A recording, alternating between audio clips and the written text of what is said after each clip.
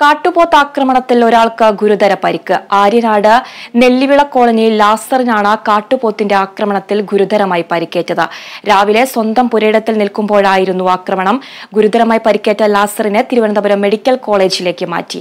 നെല്ലിവിളയിലെ ജനവാസ മേഖലയ്ക്ക് ചുറ്റുമുള്ള സർക്കാർ ഭൂമിയിൽ കാട് പിടിച്ചു കിടക്കുന്നതിനാൽ ഇവിടെ വന്യമൃഗശല്യം രൂക്ഷമാണെന്നുള്ള പരാതി ഉയർന്നിടയിലാണ് കാട്ടുപോത്തിന്റെ ആക്രമണം. വന്യമൃഗശല്യം രൂക്ഷമായി നിലനിൽക്കുന്നതിനാൽ പഞ്ചായത്ത് അധികൃതരോടും വാർഡ് മെമ്പറോടും കാട് വെട്ടിത്തെളിക്കാൻ നാട്ടുകാർ ആവശ്യപ്പെട്ടിരുന്നു. എന്നാൽ ഒരു നടപടിയും ഉണ്ടായിട്ടില്ലെന്നാണ് ആരോപണം.